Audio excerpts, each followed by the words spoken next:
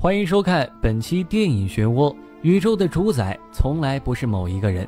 德国人在二十世纪三十年代曾犯下的不可饶恕的错误，而这些过错让一个人连同他的下一代都深深地陷入了罪恶与悔恨之中。《辛德勒的名单》是一部关于德国纳粹屠杀犹太人的故事。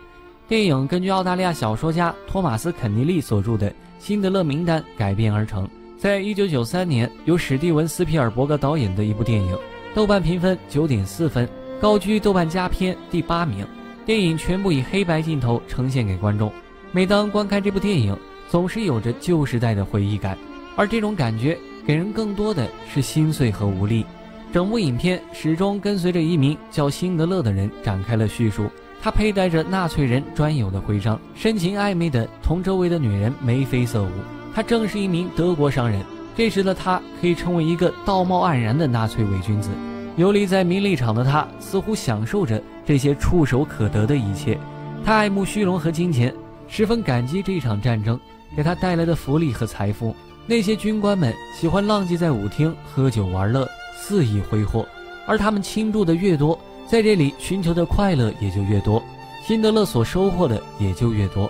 他开始雇佣越来越多低廉的劳动力，在他的工厂里工作。压榨他们，让他快乐。辛德勒在这种背离人性的生意里，心安理得地获得这些钱财。这一天，德国人向犹太人下了一条命令，禁止犹太人不吃他们不能吃的食物。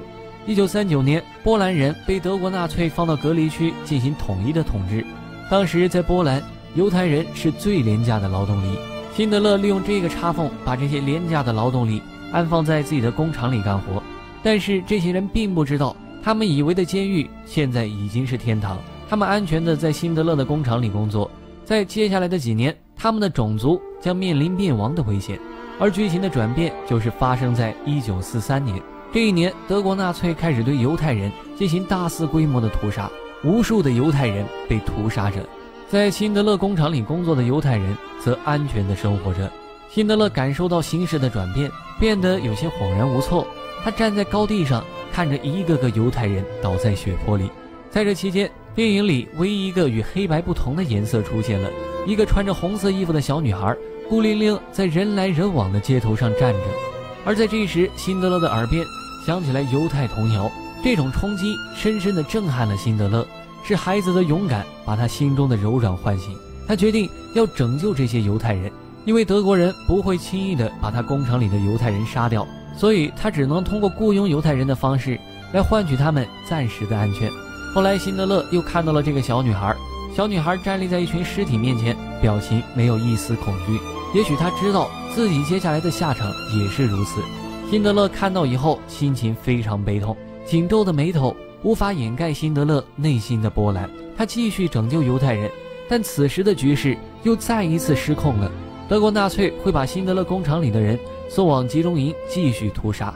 辛德勒决定用自己的钱财来贿赂德国高官，不惜违背反种族法拯救犹太人。后来，他列下了一千一百多名人的名单，每个人的名单都是一笔金钱交易。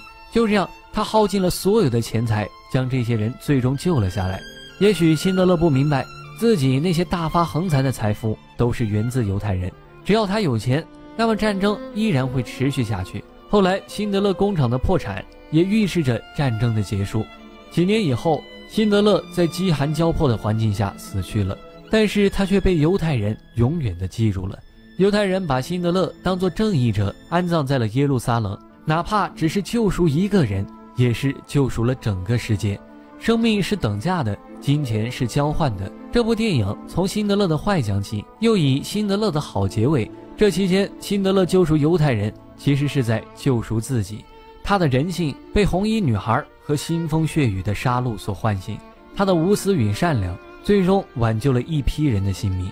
在战争面前，无论何时，坚守正义的人永远不会输。